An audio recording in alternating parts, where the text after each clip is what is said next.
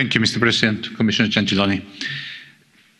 El cambio climático es el reto más complejo al que se enfrenta la humanidad. Para derrotarlo no bastan las buenas intenciones, sino que requerimos soluciones verdaderamente innovadoras. Una de las más importantes es el mecanismo de ajuste, en frontera que presentamos hoy con gran trabajo de nuestros colegas en medio ambiente y en los demás comités.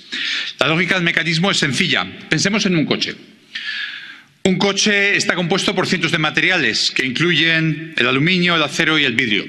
Si estos materiales se producen dentro de la Unión Europea, tienen que pagar unos 40 euros por cada tonelada de CO2 que generan. Sin embargo, si estos materiales se producen fuera de la Unión Europea, no pagan eh, eh, ningún coste por ese carbono. Por tanto, los coches fabricados en la Unión Europea son, más, son menos competitivos. Perdemos competitividad si los materiales vienen de eh, dentro de la Unión Europea.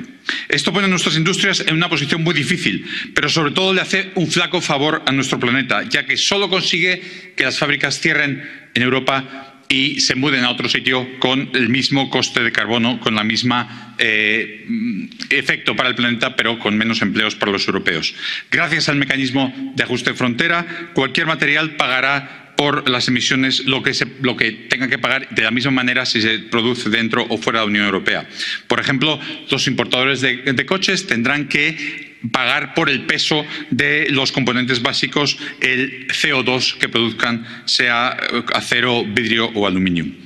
Commissioner Gentiloni, the great majority of the European Parliament is saying loud and clear that we want a CBAM. The Commission should take note of the strong preference in the Parliament for an ETS-based system our willingness to cover all ETS sectors as well as final pro products, and the proposal of the Econ Committee for a feasible design to assess the carbon content of imports.